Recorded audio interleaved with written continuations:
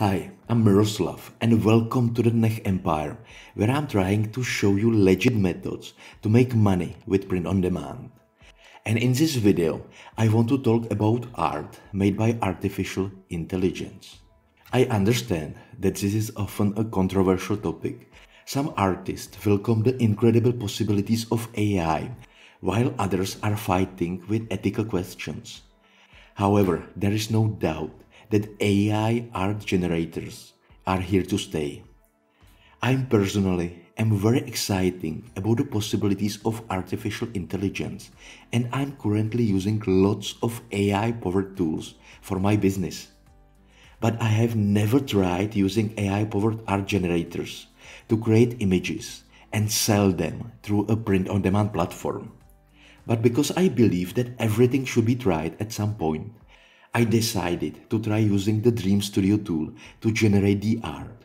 And then I set up a store on Redbubble and other similar POD platforms where I will sell the artwork made by AI.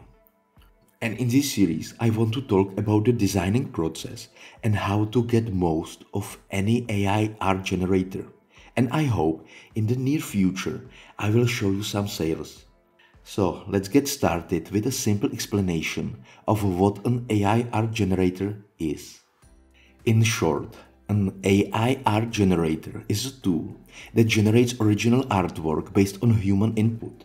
In other words, you are giving the tool a few keywords or sentences and it will generate artwork from the data collected from the internet. At the moment, you can choose from a wide variety of AI art generators but in my opinion, DALL-E 2, Midjourney, and Dream Studio, which is former Stable Diffusion, are worth trying. And because AI generated artwork is really good, there are already some artists using them. For example, Mite Tika, Gene Kogan, or Memo Akten are incredible and you can check their work for future inspiration. The most important thing I would talk about in this video is the style of AI art you should generate for print on demand. This is because print on demand is quite special. And if you create artwork, you need to think about the fact if people want to buy such design. Even if the AI can get you fantastic results, it doesn't mean people will buy it. In my opinion, you need to find your own style even if you are using AI to generate artwork. Most people are creating beautiful and detailed digital art, but it can be said that AI is in the control of the designing process.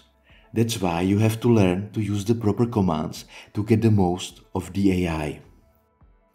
You need to find prompt commands that are not very basic because then you will generate art that looks similar to many others. So if you are using commands, you need to practice, practice and practice again until you find your own style.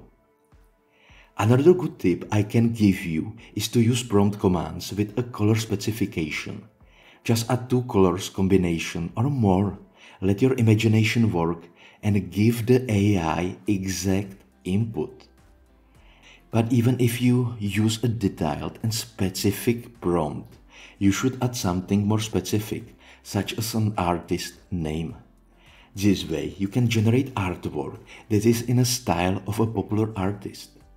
In my opinion, less known artists are better because you are getting artwork that is not similar to any other. I like to use website called Weird Wonderful AI Art where they are creating a list of artists who are using AI to create designs.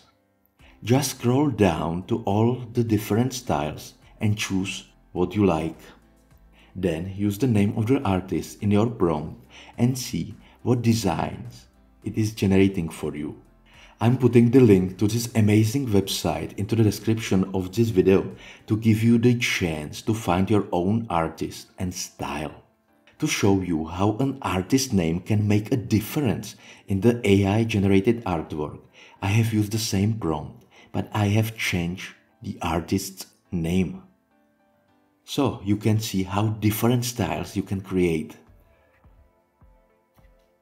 However, the best you can do is to test different prompts, different artists and colors to generate an artwork that will be unique enough that people will buy it. Thank you for watching and if you have any questions about this topic, please use the comment section and I will try to reply.